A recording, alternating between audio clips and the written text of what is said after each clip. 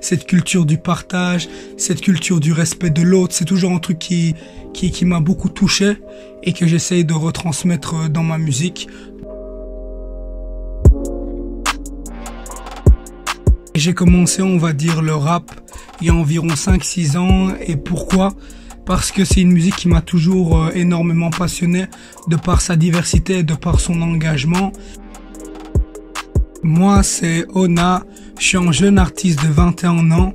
Je fais du rap, je fais du chant et je fais aussi des beats.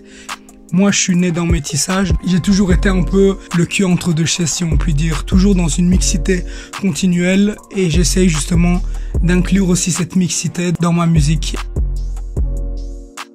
C'est clair que la musique, ça a été un moteur, ça a été un leitmotiv pour moi et pour me sortir un peu les doigts du cul, excusez-moi du...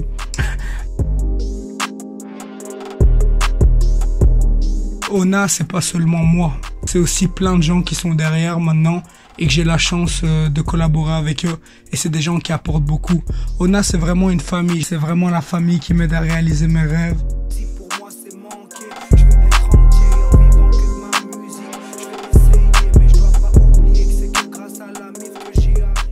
Et je remercie en tout cas le hip-hop parce que le hip-hop, ça m'a clairement sauvé la vie.